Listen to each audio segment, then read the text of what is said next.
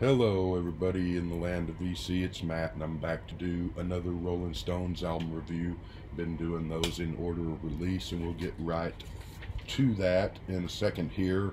First off, a little bit of housekeeping. I wanted to say hello, do a shout out to Ross Marshall. Uh, Ross responded to my previous video for Goat's Head Soup, and so thank you for the nice words.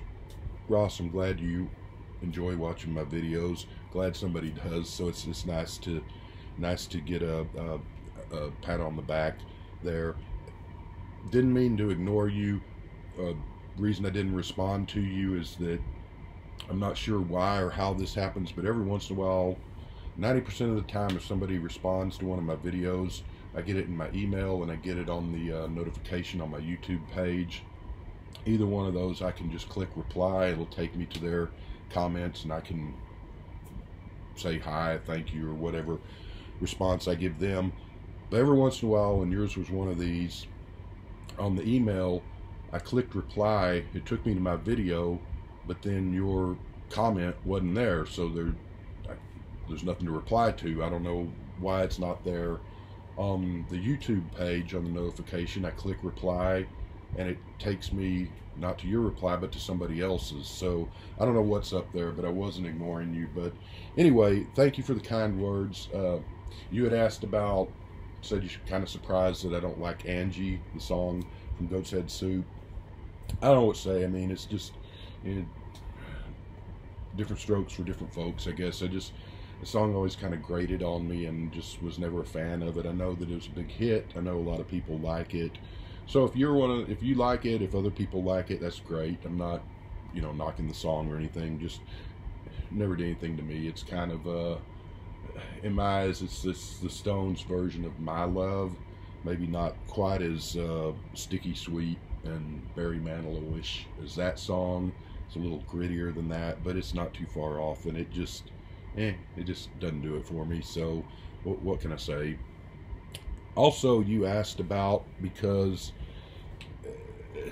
pointed out that I've mentioned several times that I don't care much for music past the mid 80s which is true with a, a, few exceptions but you asked if I like Oasis, Blur, and Pulp three of the big Britpop bands from the 90s I love Pulp only thing I've got by them is Different Class which I, I need to get some of their other records because I've, I've, heard them and I do. They're they're a good band. They're they are really good. I like them a lot. Blur.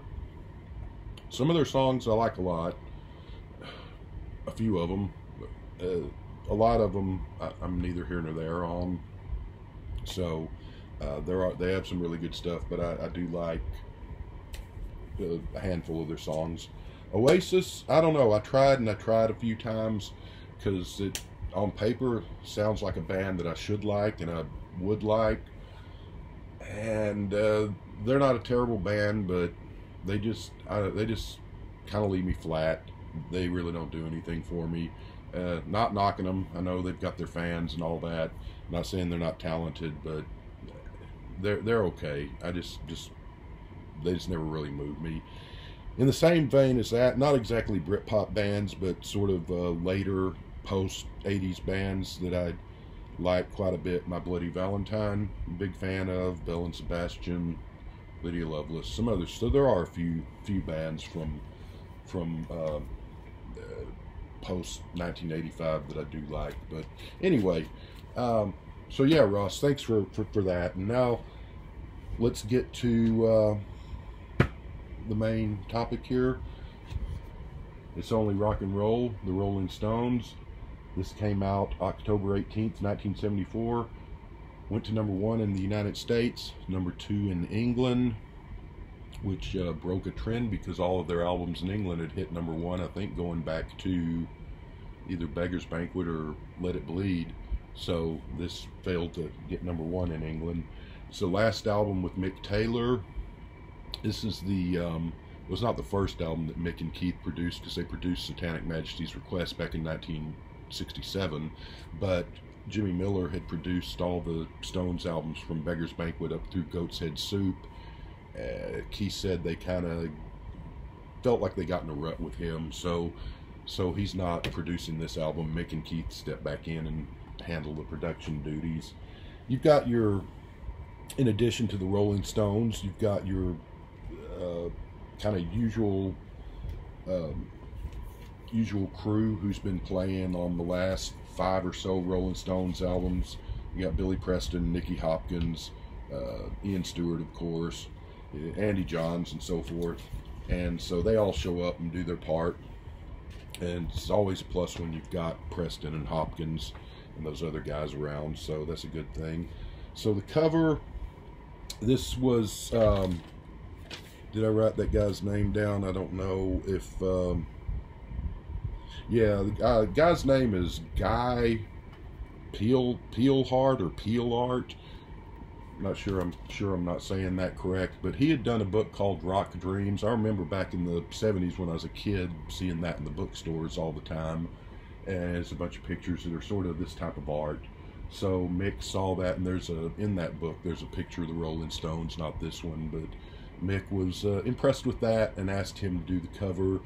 So you've got the Rolling Stones as sort of these Greek or Roman uh, deities or at least important people here at this, I guess, Greek Roman temple, descending the stairs while, while tons of ladies look on adoringly and lovingly and worshipfully. worshipfully. So you got all these uh, ladies in togas. Uh, I guess going to a toga party at the Delta House after this. But anyway, they're uh, quite uh, smitten with the Stones there and Mick's coming down the stairs all cocky looking followed by the rest of the stones. Down there at the bottom you've got these little girls. So uh, that's either uh, kids that the Rolling Stones had with these ladies or they're there so that uh, Bill Wyman can get a date too I guess. On the back you've got the steps of the uh, Roman temple whatever that is. Some Hoodlum has graffitied "It's Only Rock and Roll," the title of the album, on the back wall there. So that's the cover. It's it's uh it's all right. Same guy that did this did Diamond Dogs, the David Bowie album cover. I think that came out after that. That was a '75 or something album, if I'm not mistaken. Inner sleeve, you got Billy Preston and Ian Stewart, Nicky Hopkins picture there. On the other side, you just have the track listing and some of the information about what's on the album. So this was supposed to be originally a part live album and a part covers album, but they wrote songs and so that sort of didn't work out. There's no live tracks on this album. There's one cover song. They recorded several that I think have been, I don't know if they've ever been released officially. I think they've been bootlegged.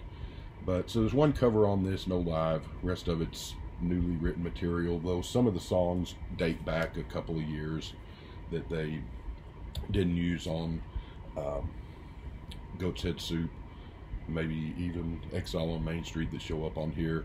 A lot of this album was recorded in Germany, and I guess some of it in England too, which is interesting. I don't think I said that before, but it's interesting. The Beatles never recorded outside of England, with the exception of, I think, Can't Buy Me Love was recorded in France and obviously my Bonnie early on was in Germany, but everything else they recorded in, in England.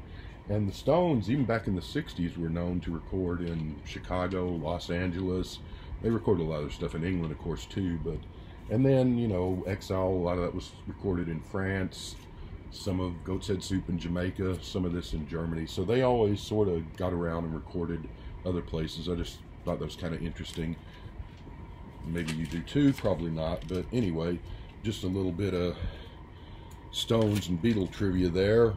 So, this album, besides uh, a couple of hits that still show up pretty often on classic rock radio, it kind of been, it didn't get very good reviews when it came out, like Goat's Head, and like the album that comes out after this, Black and Blue. But this is sort of, with the exception of the title track and one other track, pretty much a forgotten album in some ways, I think. It, it, it's, uh, you know, people don't think of it the way they think Sticky Fingers, Exile, Some Girls, things like that. So kind of overlooked and forgotten, even though it was a number one album at the time. But uh, that's okay. I, I like this album. I think actually like this better than I do Goat's Head Soup, which has its moments. But it's kind of a druggy, dark, sleazy, decadent. Uh, a lot of the songs on here are four to six minutes, so a lot of long songs. There's two or three songs that are like three minutes, but most of these are pretty long songs. It, you can kind of see why punk rock, which blew up a year or two after this, is sort of a, uh, counter to the dinosaur rock. Kind of albums like this played right into that as to what spurred punk to some degree. But it's still it's a good album, and I think a lot of these albums, um, a they're not as good as their albums in the 60s or the early 70s and things like Sticky Fingers and Exile. Eh, they're just not, but they're still really good. And just like the solo Beatles and for the most part the Rolling Stones in the 70s, a lot of good stuff, but whereas in the 60s Stones and the Beatles were breaking new ground and setting the trends, in the 70s um, a lot of times they're just sort of following the trends instead of setting the trends. Doesn't mean they're not making great music, but you know they're sort of uh, instead of uh, out front there calling the shots and setting the trends, they're following the trends, sort of the responding to things like the 70s rock sound, sound and dance music and reggae and disco and so forth. But um, you know, not necessarily bad and and I think the reason a lot of these albums, the early solo Beatles albums in a lot of cases, and the Stones albums in the mid 70s, got the critical and in a lot of cases fan uh, negative reactions is that uh, they were so close to their, you know, their magical highlight purple patch period of the 60s that it was probably impossible to see these in their own standing and not at that time compare them to what had come before back in the 60s. And now, all these years later, we can look at these albums just on their own. And and I think when you do that, they hold up a lot better than they did to people back when they came out. Also, the interesting thing in this album is, in my mind, might disagree, but there's really no standout hit track, which is kind of funny because there were two singles released from this record, and both of them got a lot of radio play. Both of them still do, but I'll get to those songs and why I'm saying that. But even though there's not um, the standout hit track in my mind, there are some just really great, deep cut, solid tracks. Just good listening. Put this album on and listen to almost all of it. Uh, there's a couple of dogs on here, but pretty good album to just listen to front to back and some great deep cuts and and nice groove to the album i really do like this album but anyway let's see let's get on to the tracks here there's even a bonus track we'll talk about uh, da, da, da, da, da. so side one opens with if you can't rock me which if you can't rock me somebody will Keith plays bass on that, really good bass. This is a Mick's singing about if uh, if you don't give me what I want, I can get it from someone else. Whether he's just singing to um, uh, the fans or Bianca or girls in general or whatever. It's a good opening. It's it's got a nice groove to it. It's not the strongest opening by any means. It's not in the same class with um, "Gimme Shelter" or you know, sympathy for the devil or anything like that. It's, um, but it's still, it's got a good groove and a really nice bass guitar part by Keith, which is, like I said already, kind of surprising. Nice song though. It's a pretty good opener, and it's a good. Uh, it, it's uh, not. It was not released as a single, and it's it's close, but not quite up to par uh, single quality. But it's right there almost right there, and it's it's a good groove. It's a nice rocker. Uh, like I said, it's not like Rocks Off opens uh, Exile, which is a, a, great song. This is a near great song with a really good groove. I like it though. I'm going to give if you can't rock me an 8.5. It does stick in your head, and and it's a it's a it's a pretty decent opener. Next one is the cover, the sole cover song on this album, which is "Ain't Too Proud to Beg." Of course, the Temptations back in 1966 did this originally. Uh, this is a good, you know, the Stones were always pretty good cover band, and this is no exception. They do a really good job here. The the um, couple of their covers in the 70s, one of them's coming up on an album, a couple of two or three albums down the road, but would be my favorite of their 70s covers. So this is one of them. I think uh, they don't match the Temptations version, but they come pretty close, and it, it's a really good. Uh, it, they don't change things around too much. It's a pretty straightforward cover, but they do it well. And Ain't Proud to Beg, I'm going to give it a 9. Now we go with the lead single off of the album and the title track, It's Only Rock and Roll, which surprisingly only got to number 16 in the United States. I looked it up. I, I would have thought it would have got higher, and it got to number 10 in England. This came out, uh, like I said, in October, so I would have been in fifth grade. And I remember, you know, whatever I was in fifth grade, 11 or 12, I remember the song being all over the radio like crazy when it came out. And then, of course, it's been played to death since then on classic rock. So, kind of a strange because the rest of this album, even though some of these songs date back, but most of these songs were recorded roughly around the same time, and some of them were written new for the album. It's Only Rock and Roll is sort of a separate thing from the album in that Ron Wood, Ronnie Wood, who would become a Rolling Stone here right after this, had been in the Faces. He wanted to do a solo album. I think it's called I've Got My Own Album to Do. He called upon Mick Taylor to help out with some guitar parts on the album, and then the damn thing froze again. Uh, but anyway, so Mick Taylor helped him out, and somewhere in there, Mick Jagger showed up to hang out. Uh, Kenny Jones was there, who was the drummer in the Faces and was later the drummer in the Who for a short time after Keith Moon died. Uh, David Bowie showed up, and they were just jamming and messing around. Jagger and Bowie and uh, Ronnie Wood and and uh, Kenny Jones and so forth, and they came up sort of with the with the um, um, just the riff for "It's Only Rock and Roll," and they recorded that, or just roughly recorded it, I think. They ended up keeping the rhythm section of Kenny Jones, Ron Woods on there, and um, I don't know that David Bowie. I don't think he's on the. But and then Keith Richards came in and uh, later on put the guitar parts on here. So it's kind of a Frankenstein of a song, but it it worked out. And Mick Taylor's actually not on here on this song, which surprised me because for a long time I figured that was his guitar bits on there.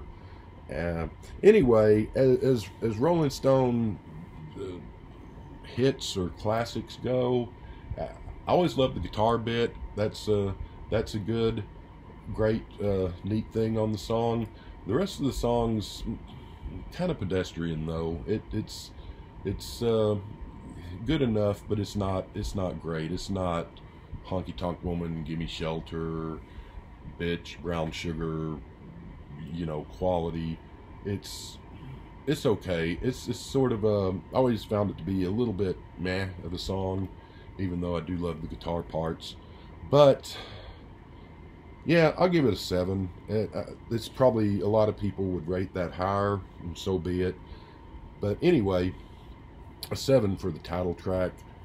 Funny thing is, that was released as a 45, like I said, and it had a B side called Through the Lonely Nights, which was not on the album and wasn't on any album at all until I think later on it showed up on some compilation rarities albums, but never on a proper Rolling Stones album. Through the Lonely Nights, a, a great, it's just a great aching, slightly countryish rock slice of uh, longing and sadness, and a really good song. Should have been on the album. There's a couple of these songs on here they could have easily taken off and replaced Through the Lonely Nights with and I give that one a nine. So that's worth checking out on YouTube or tracking down the single or finding one of those compilation albums that has it. So, but back to the album proper, the next song on side one, fourth song on side one, Till the Next Time We Say Goodbye. I love this song. This is a good one. It's a nice song. Jagger sings with that sort of slightly affected, goofy voice that he uses sometimes. But the funny thing is, is that he sounds genuine on the song, which he usually doesn't open up much or, or you know, sounds sincere. So he's kind of singing in this affected voice through parts of the songs, goofy voice, but really sincere. Nice uh, world weary ballad, kind of a country feel too, quite descriptive in the lyrics, and uh, just a nice, good uh, ballad, affecting ballad by the Stones. Good album cut. Like I said, this album's full of nice, deep album cuts. Wish this thing would unfreeze. But anyway, uh, till next time we say goodbye gets a nine. Fifth song, and that's the last song on side one, I believe. It's uh, yes, is time waits for no one. A Jagger in a reflective mood again. Hours like diamonds, so don't waste them. Uh, compare this to Time is on My Side, which had come out just 10 years earlier when they're, you know, young and think they've got all the time in the world even though that song's kind of also about time is on my side for getting back to a girl who did me wrong but still it's um this is a, a more world weary more realistic view of uh, time passing quickly and mortality uh, ballad little bit of a 70s soft rock feel to it early on in the song it's another long song uh, but I love the at the end. There's sort of the click, click, click. Sounds like a metronome, like a clock ticking, like seconds ticking away. That runs for uh, several seconds at the very end of the song, and just that only. Also, Mick Taylor, good guitar player, really good guitar player, but kind of um, I don't know. Uh, I always liked him, but I always thought he was more technique than soul with a few exceptions, and this is one of them. This is one of his best ballad, best uh, guitar solos. That is to say, truly soul stirring. Truly get the grit and the feel and the heart and the soul in his guitar solo that winds out the song, and it's it's a long solo that sort of rides out the song, and uh, so it's really, I think, one of his best guitar solos. And uh, so, yeah, kudos for that. Um, so yeah, time waits for no one. I'm going to give that an eight. We turn the album over and we open with Luxury, Mick singing about third world inequality. kind of funny. It's a band trying to do reggae. It's okay. Uh, lyrically, you look at some of this stuff, you'd think they were trying to be the Clash uh, two or three years before the Clash was actually a thing. Uh, it's okay groove, but it's a, kind of a boring song. Five minutes long, it feels like it's ten minutes long. It's uh, they'll do some reggae stuff on subsequent on the next album, and uh, a little better maybe than here. Luxury is okay. I'm gonna give it a five. It's no big deal. Second song, Dance Little Sister Dance. This was another. This was um, um, the flip side of the second single from the album, which was "Ain't Too Proud to Beg," was the second single from the album. "Dance Little Sister Dance" was the flip side of that. Still gets a lot of. Still, there we go. Stupid. Buy a new computer that's a lot more expensive than the old one, and then it freezes up when you're making a video where the old one didn't. It's technology for you. Gotta love it. Anyway, Dance a Little Sister Dance. Uh, a lot of radio play to this day. Uh, grinding little rocker it's repetitive. The first half of the song, the repetitiveness sort of bothers me because it's kind of boring. The second half of the song, it picks up and it gets better. It's a generic driving rocker, but it's okay. I'm going to give it a 6.5. I, I was, uh, it's one of their well-known songs, but it was uh, not one I ever go to seek out on purpose, but when I hear it, it's it's it's a it's a fair, nice little rocker. So 6.5. Third song is "If You Really Want to Be My Friend." Another uh, another instance of Jagger being heartfelt and sincere to some degree, or he seems like he's being anyway. Uh, he's singing to Rolling Stones fans. He's singing to Bianca Jagger, maybe. Maybe he's singing to Keith or the critics. I don't know. But either way, it's got that nice sort of immersive, watery sounding piano, which I, always like that song. Kind of a melancholy love song. Uh, compare this, the piano tone in this, to Beechwood Park by the Zombies on the great Odyssey and Oracle album from 1968 which also has a bit of that kind of watery piano. In that case, the Beechwood Park is a happier, more positive, upbeat, even though it's still a bittersweet, looking back and longing song. Uh, but this one's a more downbeat song, so it's kind of funny how you could have kind of the same instrument tone, but relay different uh, moods and feelings. But works really good in both of the songs. Beechwood Park's the better song than this, but this song's really good, and I'm going to give it a 9. It's up there, so um, not reviewing Zombies albums right now, but if I were, I'd give Beechwood Park a 10 in case you're interested. Now, uh, where I was talking about um, where they could have. Um, where they could have uh, used through the lonely nights on the album and they could have could have uh, deep sixed a couple of the cuts on this album. This is the one they really should have because it's crap and it's the fourth song on side two. It's short and curlies. This is a song that was recorded back around um, goat's head soup time and they didn't use it on that wisely but they revived it for this and it probably should have never been released. It should have been, if anything, a bonus track. And if they ever do a deluxe edition of this, probably not even that, or just something that maybe was maybe bootlegged, or better yet, something where they just erase the tape, because it's it's the the Stone '70s silly cock rock, dumbed down, shock value track. Uh, the lyrics are stupid if the music was good, it might make up for it a little bit, but it's just sort of a bluesy, by the numbers, bar rock, piano driven snoozer of a song. Uh, thankfully, it's short. It's only two minutes and 43 seconds, so it's the shortest song on the album. But it's uh, at that, it's about two minutes and 42 seconds too long. So, Short and Curly's is shitty and crappy, and I'm gonna give it a two. Pretty garbage song. Anyway, but we do end the album on a high note, and I think probably my favorite song on the album, Fingerprint File, which uh, is funny because I had not listened to this album in a long time. I've, I've had it. Uh, well, this is a newer copy, but I've, I've had uh, the album since way back when I was a kid and I always did pretty much enjoy it. But I knew I was going to have to listen to it because it was coming up in the line of the reviews. But even before that, I watched The Serpent on um, on uh, Netflix series on Netflix. Good show.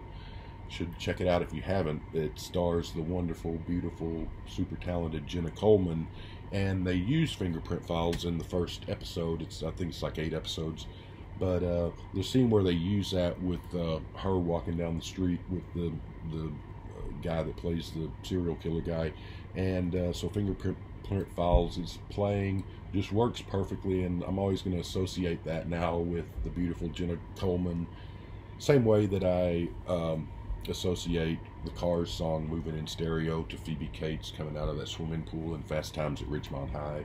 But anyway, uh, yeah, check out the Serpent if you haven't, definitely.